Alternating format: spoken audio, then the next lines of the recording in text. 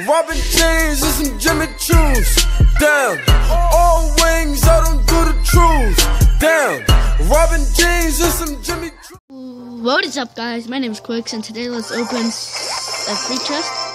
Now let's look at some Arena 1 replays. We're just gonna look at two for now and double speed them. So yeah, hope you guys enjoyed this video. Let's just see what type of mistakes these people do. And this guy's this guy's strategy is pretty good. Knight and archers.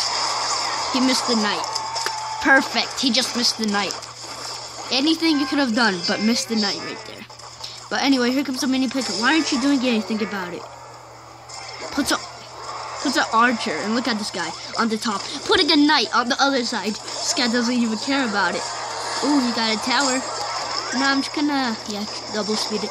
Oh, Prince coming out his base. What is he gonna do? He's gonna defend with a Prince after the strike. How smart can he get? How smart can he get? Now the top guy's smart and strikes with archers, but too early.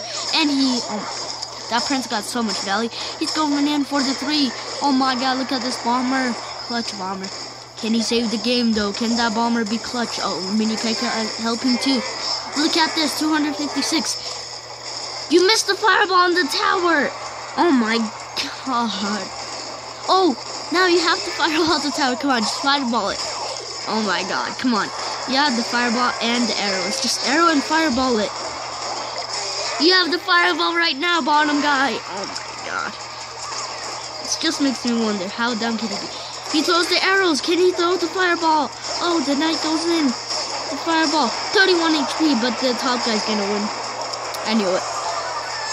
He should have thrown the fireball earlier. Like, bruh. Bruh. Here, we go, here we go with our second one, which is, I'll, I'll announce their names.